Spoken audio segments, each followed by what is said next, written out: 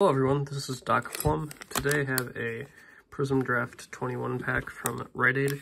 These are pretty expensive at Rite Aid. They're like uh, $15.69, but I got this one because the Rite Aid location was closing.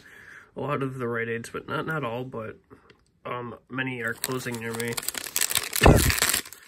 excuse me, as uh, the Rite Aids are going bankrupt. So I'm going to start with the bonus pack. The bonus pack should contain uh, three Carolina Blue Prizms, or what they call them, but, oh, they probably labeled them correctly, yeah, Hyper Blue and Carolina Blue Prizms. Sometimes online they just say Carolina Blue, which is misleading, so, they, so you can see they're Hyper, meaning they have the pattern of, like, the, the checks on there, and then they're Carolina Blue in the middle and blue on the outside, okay.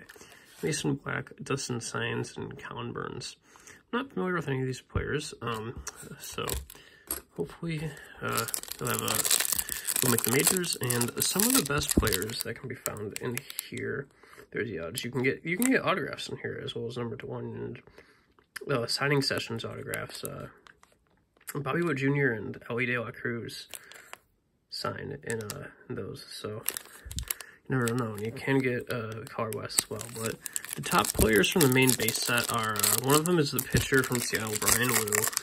There's also, uh, guys like these, a lot, a lot of pitcher heavy, pitcher heavy set, like Tanner Bibee. He's in the majors for Cleveland right now.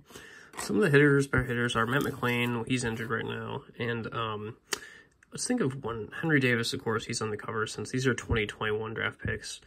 Ryan Costume, Noah Cameron. Um, Christian Scott. I can't think of any other uh, top hitters right now, but let me know in the comments if you guys have.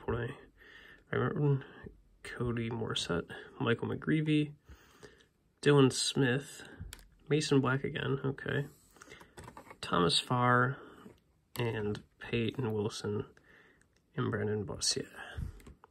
Well, unless Thomas Farr becomes a superstar, or Mason Black, this was not a very exciting pack. So with that, I'd like to, but yeah, I'd like to thank you all for watching.